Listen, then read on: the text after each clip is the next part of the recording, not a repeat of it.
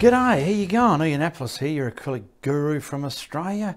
Going to do a painting today and I want to show you how to do the sun hiding behind some clouds and just spitting up bright colours within the sky and reflecting all over the water there as well. Alright, I'll put the size up there for you so you know what size my canvas is and I'll also get a couple of colours going up the screen as well. Not too many in this one, maybe one, two, I don't know, three, four, five, just a couple anyway. All right, now I've scribbled something out over here. You'll make sense of it once you've watched the video once and you come back and ready to paint again with me, okay? So you'll know what's going to happen. So get on right over here and I'll start showing you what I'm going to do. Now it's in portrait layout and I'm just going to have some different values of some distant hills, mountains here, whatever, and then some dif different foliage, dif different distances, uh, the water, and the sun's going to be setting behind some clouds, okay?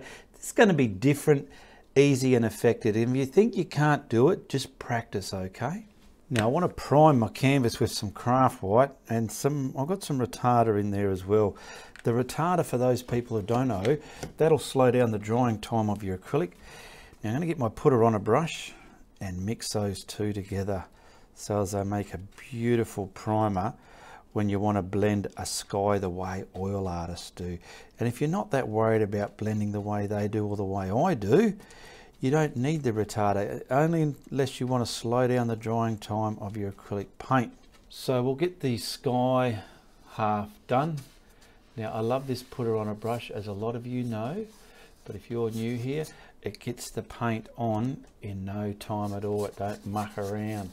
Look at that. Now where I'm going to have me land, I don't really want retarded paint there, so I'll just sort of go like that.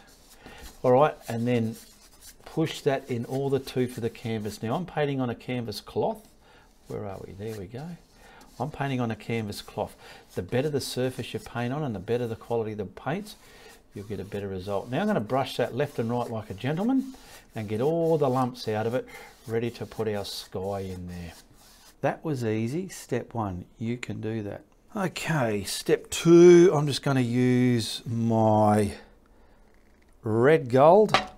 And I'm feeling a bit of grey in this sky as well, so I'll get a little bit of grey up there as well. All right, and we're going to use this colour here. This is red gold or a deep orange or Australian sienna. Get that right into me putter on a brush. And if anything, that's going to be me orange and that's going to be the grey. That's what's going through my mind. All right, so I'll get this, put it on around there like that with this putter on a brush. Just like that, go to the horizon line there. Now I'm starting to use the tip of me putter on a brush to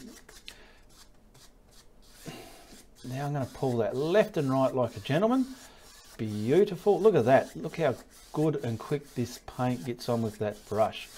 Now, lo and behold, you know what? I wouldn't mind a bit more dark down the bottom A there. So what I'll do is I'll just pick some more of that up and I'll stamp it on.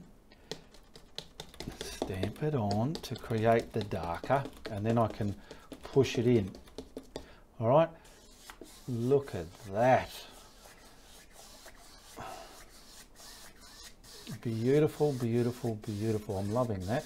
I'm using the tip of this brush now just to stroke the paint nice and even so I don't need to grab another brush and blend all that. This putter on a brush does it all in the one take.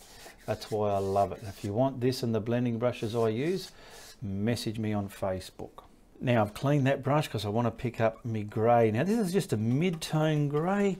Have I got enough there? I reckon hopefully I have. And I'm going to crisscross this into that orange sky. Roughly in that area there. Boom, boom, boom, boom. Let it fade out.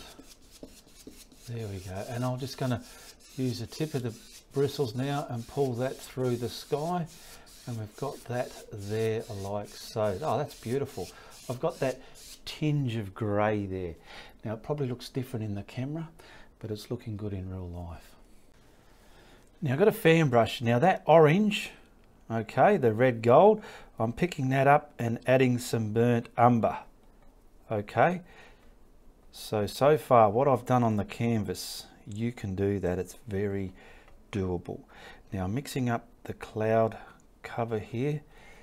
Uh, I'll go a little bit more darker, just slowly adding the darker value to the lighter pile, not the other way around.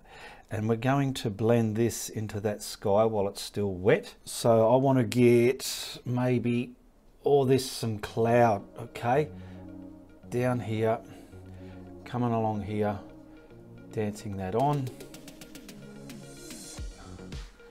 And I want to get all this jingle jangled. I'm twisting this brush just to sort of push that down into that color there. All right, now I'm gonna grab my blending brush and I wanna blend the top of this into there in the way that I'm after. And then the bottom can happen later on its own. There we go, watch, watch what's happening here. Now, I've got a lot of that dark color in my brush.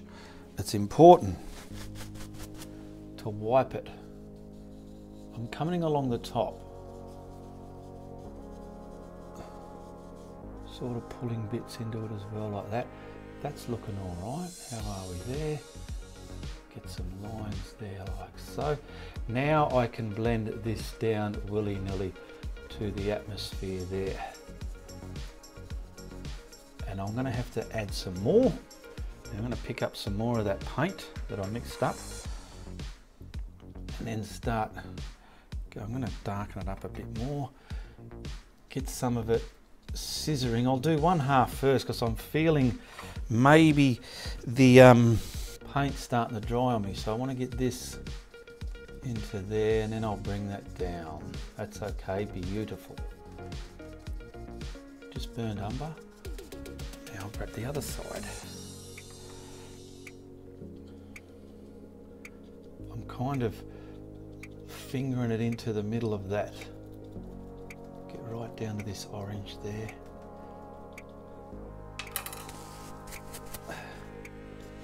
And blend that into there.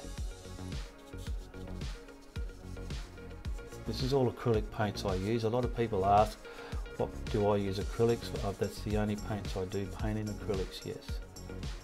All right, now I'm gonna get some more. Now I wanna finish the sky here, so I wanna get some of these little bit skinny there and coming a bit fatter here, right off the painting like that. I've got to grab another blending brush because that one got a, a bit dirty and I want to pull that like that. Look at that, whoosh, right into the middle, pointing into the middle of the painting. Not bad, eh? You can do that. Wipe that and we'll do some on the other side as well.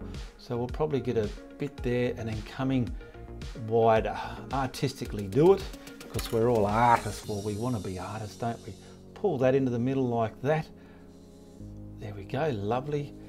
And blend that as well, coming out of the edge of the painting into the middle.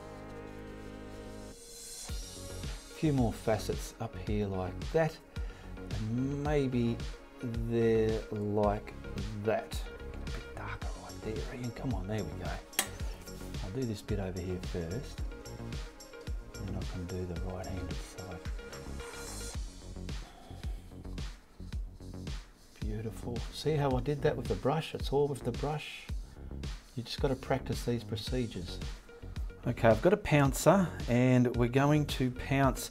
All this paint here is what I mix the retarder in. I'm just going to grab some of that because that bit there doesn't have retarder. Don't need retarder in this. And I just want to load me pouncer up with some of this paint. It's white.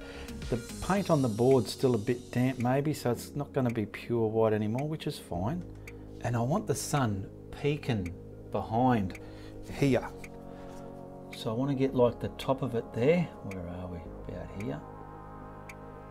So I'm pushing just the top on. The bottom might go on a little bit. Yeah, it did. That's okay. Whoa.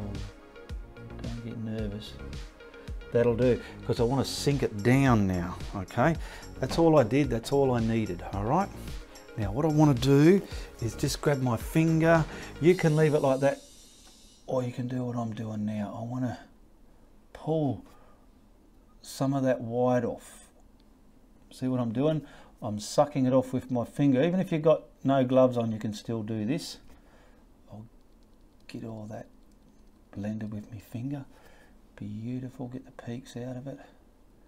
It's looking very arty. Now we're grabbing the red gold. Where's another fan brush? Just another fan brush will do here.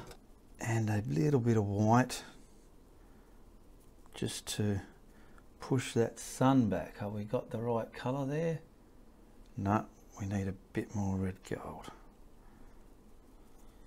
Everything is wet. I'm going to be put this on like a cloud. So there's the top. Kiss that sun down. Put this on like that. Come along. Get rid of that white. Don't want that.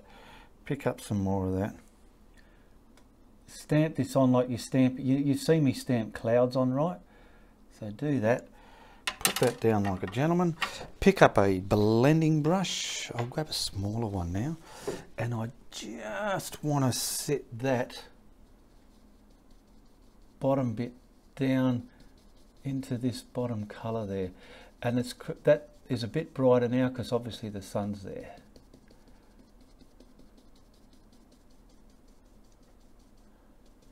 I'm just looking, I want to get some of this now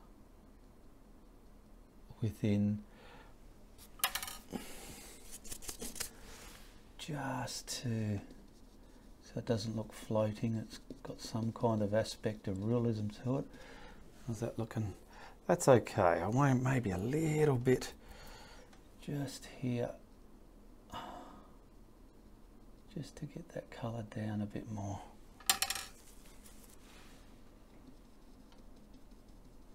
I'm just tapping it, looking what I'm doing and sm smearing it down.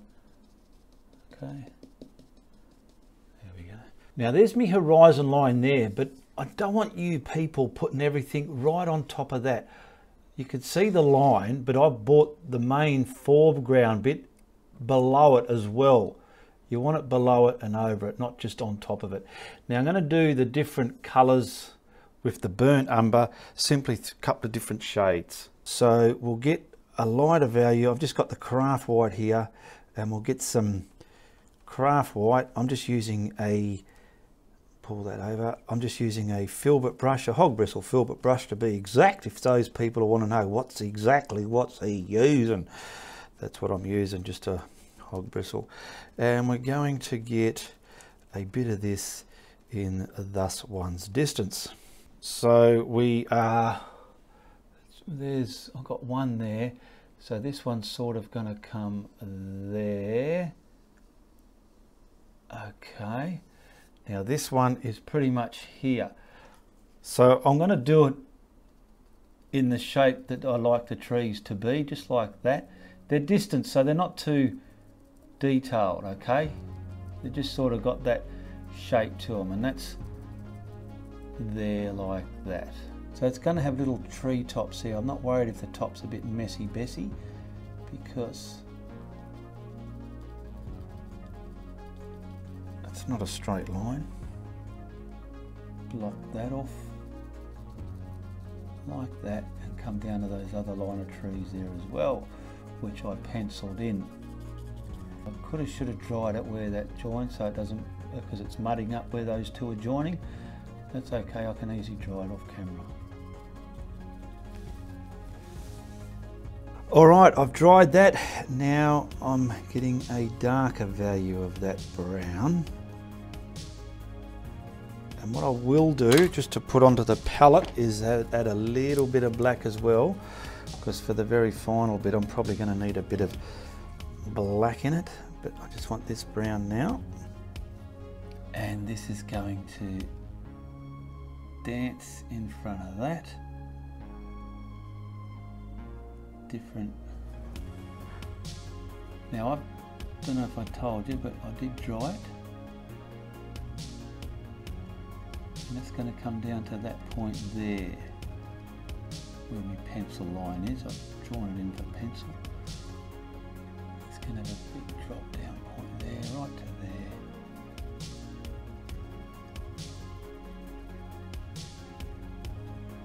Alright, so that's our third bit. Now I'll just block that in a bit darker. Okay, I've patted that in, it's dry. Now before I put this main one over the water and everything, I'm gonna get the water color in. Very easy, just grabbing some of this craft white that's already down here. It's probably got a little bit more retarder left in it, it doesn't matter because we do want to be putting some detail on top of this water, some swell ripples. You know those soft swirling ripples? So we'll probably bring it up to about there-ish, just to there. Get all this in, and then we're just going to pretty much mimic the sky colours into here. So I'll get all that just brushed along there like that. Rub it down nice and smooth like a gentleman. Look at that. Now I'm going to wipe that brush and I want to grab the red gold again. And we'll get the majority of our water in. So we're going to put this in along with the browns. So pretty much from here, bang it on and let it fade up. Look how quick this putter on a brush works, hey? It's fantastic using the tip of the brush now like a gentleman and I'm stroking it. Beautiful. Uh, I might get some more mid-band radiation happening through there. Uh, what's mid-band radiation, Ian? It's just stuff like this. Mid-band in the middle of the water there and they're radiating through. Mid-band radiation. And then we're going to stroke that like a gentleman as well. And keep pushing it down. I want to keep pushing it down because it's too loud. And I want to get it, got something on the edge of my brush there. There we go. Now we're going to get the browns up there. Everything's still wet on that white. So we'll pick up some of this brown here. so we'll come there. I'll just use the edge of the brush like this. Boom, boom, boom, boom, boom. There. Right against the horizon there. Done. Now I'm picking up more and I'm going to mid-band radiate this. See it's darker? Mid-band radiate. What a word, eh?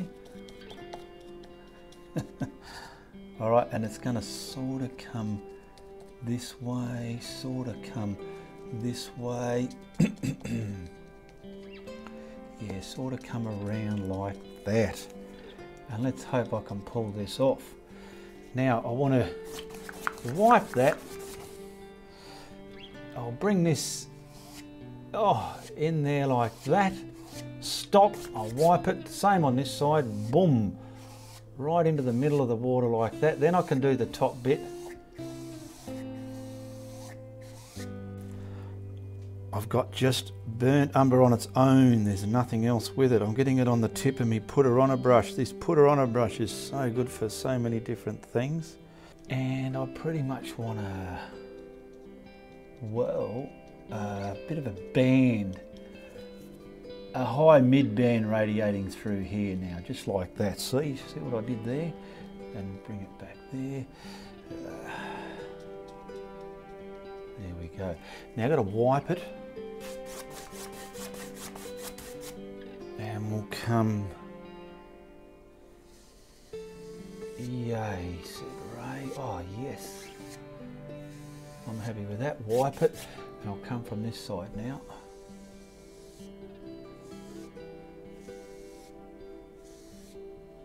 All the way across, that's it, done. Now back to our pouncer. We want to get that damp with some of the craft white, but we want to use the actual titanium white here. And it can be hindered with a little bit of that. Just a little bit of that. Now there's our sun. So we want to come from here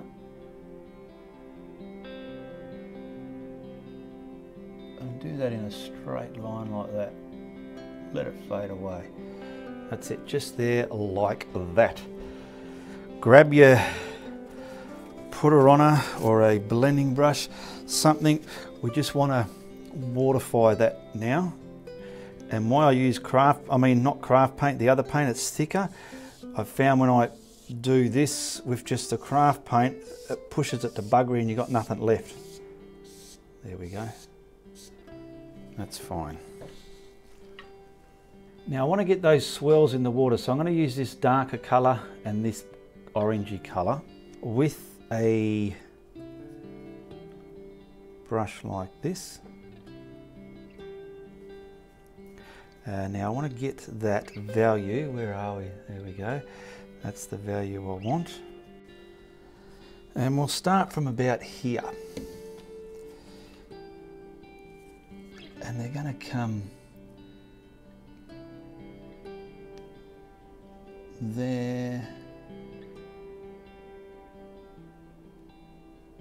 There. Now stop and reload your brush. You don't want this paint breaking up. You want it reasonably sharp. There, I'm going to go over that one again. Because you don't get to do too many passes of, of this, it sort of can wipe it out.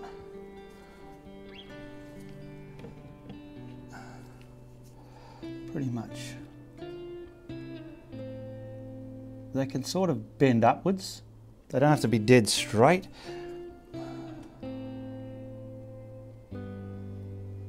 And I'm just using my bullshit stick here to get them bullshittingly straight. And you can see what's happening there. There we go.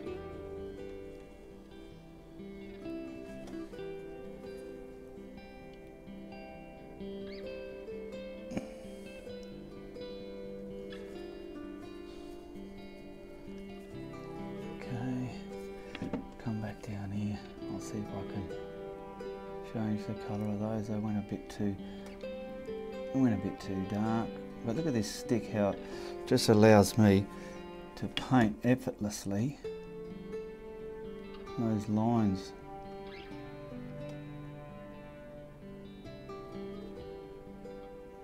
Thick, bit longer.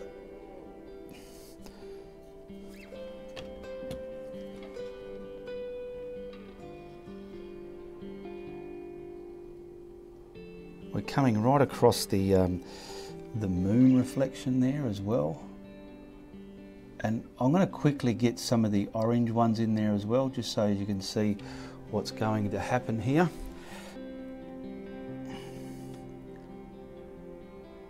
Just under some of those. In between and under where are we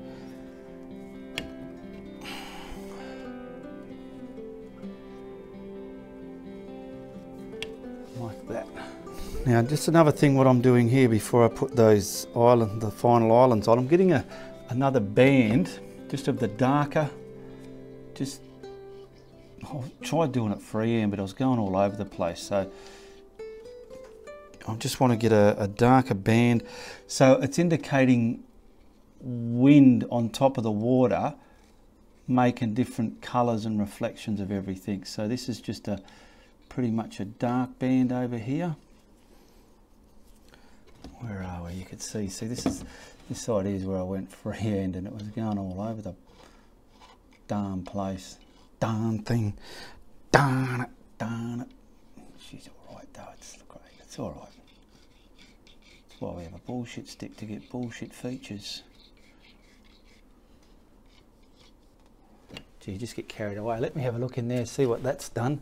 Yeah, it's just made up that. Now I just want to shimmer there. Now the best way to do shimmer, I've just sprayed some water here. I've got a flat faced toothbrush and I'll get that in the water. Let's just flatten that out a bit more first. And then I'll get the toothbrush in the water, then I start pulling this through and it's going to have it a nice inky consistency, a flickable consistency. And you've just got the very tips loaded up. It's not all blobbed in there and full of blobs and gunk. And we'll try not to get any on the um,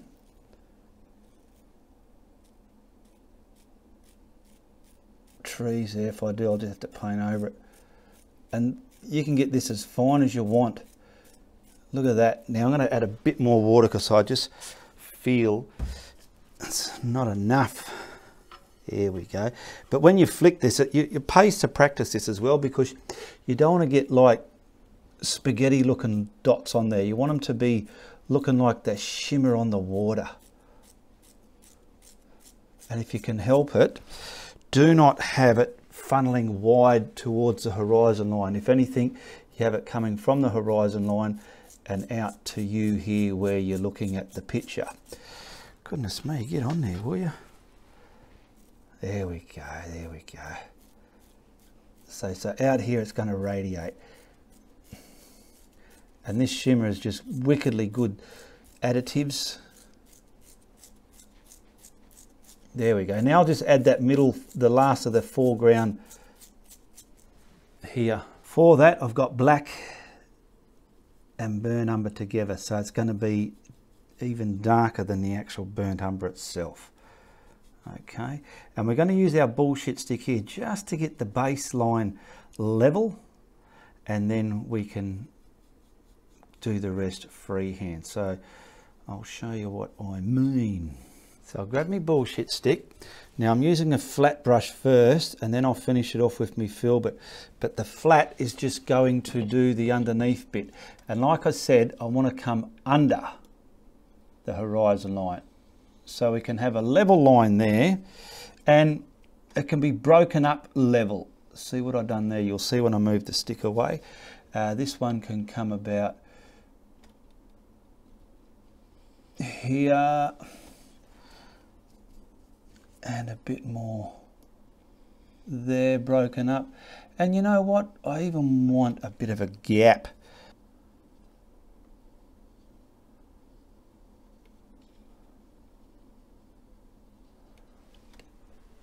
And then I'll use the filbert that I had. And I will get this in its appropriate colour now out there. Now the sun's going down, you're miles away. This is not going to have a beautiful mirror image reflection. I'm going to have to do this a few times because see how this is getting a bit see-throughy? You don't want your work see-throughy. You want it looking good goodumestangly good. And you can see how just changing that lower than the horizon line and a bit of black here and like bit of gaps in between stuff it just makes things more interesting a bit more real. If you look at real life it'll make you do these habits and procedures within your work. So I'm going to dry this now and then double coat this just so as you'll see what it'll look like. Okay I've just darkened that up and dried it. Now before I put some birds in there, I want to put some birds flying in this because it's a swampy sort of bird thing. I'm just grabbing the white and using my leaner on a stick. If someone can message me and tell me what these are actually called, they have a name, but I don't know. Um, I just want to get some of this a bit more detail within some of this shimmer on the lake here, just in periodically periodical bands is that's the word I'm looking for?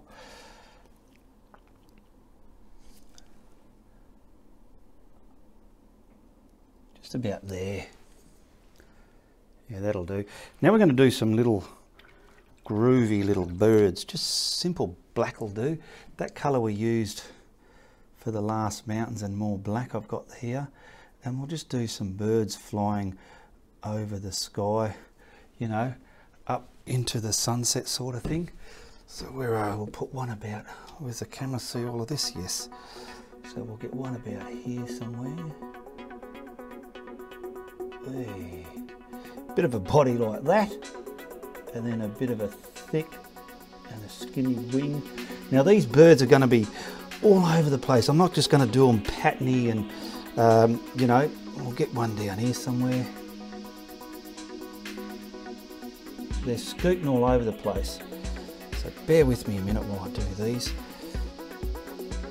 Uh, where are we? We've got a, a head there, bush, there's his head, and then we've got a wing all the way up here. I hope that's a wing. Oh my god.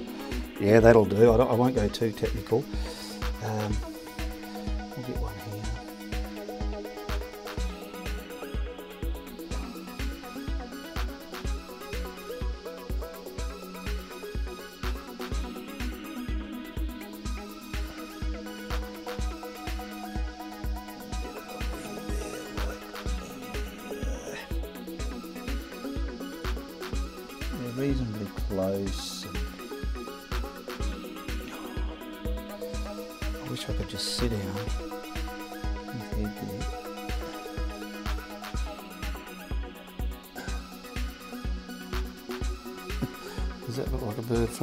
Yeah, because I want all different ones. That's the aspects of it all.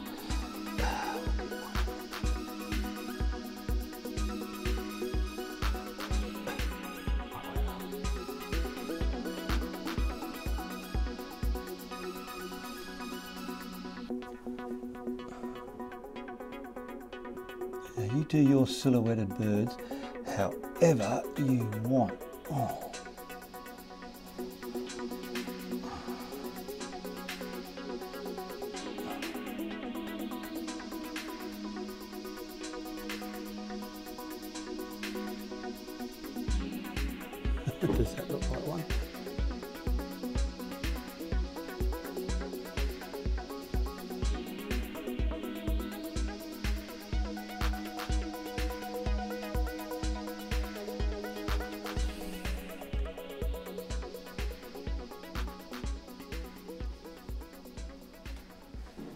Just sign this and we'll whack a frame on it. Now have a look at all the links in the description below. Purchase my art and support my content. Uh, you message me on the Facebook link there. Um, if you want to buy any paintings or my blending brushes, I want to thank all my patrons who support my content every month. Much appreciated.